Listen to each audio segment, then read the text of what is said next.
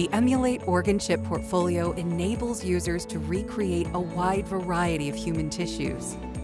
Inside each CHIP S1 stretchable chip, there are two parallel microfluidic channels that contain a co-culture of primary human cells with a tissue vascular interface. Media flow in both channels provides the shear stress required to promote closer to in vivo gene expression. The two-channel configuration also enables air-liquid interfaces for modeling the lung. The stretchable membrane of the CHIP S1 allows researchers to recreate key biomechanical forces such as breathing or peristalsis. The CHIP A1 accessible chip provides expanded modeling capabilities by featuring a hinged lid and an open chamber within the epithelial channel.